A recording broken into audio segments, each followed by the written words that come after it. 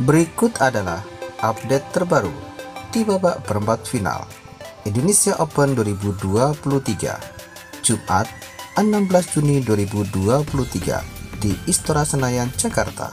Sebelum lanjut, like, komen, dan subscribe atas spot untuk mendapatkan info-info olahraga. Untuk hasil pertandingan di babak perempat final di sektor tunggal putri. Tunggal putri Spanyol, Carolina Marin, berhasil maju ke babak semifinal setelah mengalahkan tunggal putri China Taipei, Tai Ying. Marin menang dengan skor 21-13 dan 21-18.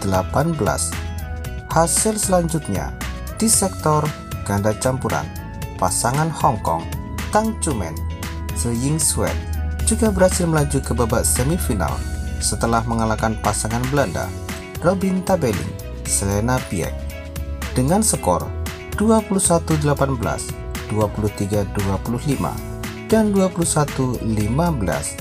Hasil selanjutnya di sektor tunggal putri.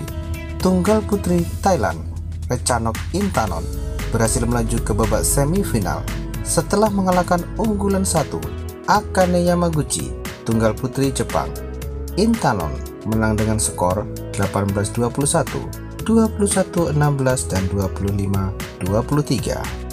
Hasil berikutnya di sektor ganda campuran, pasangan Jepang Yuta Watanabe, Arisa Higashino juga berhasil melaju ke babak semifinal setelah mengalahkan pasangan Indonesia Rina Rivaldi, Pita Ningtyas Mentari.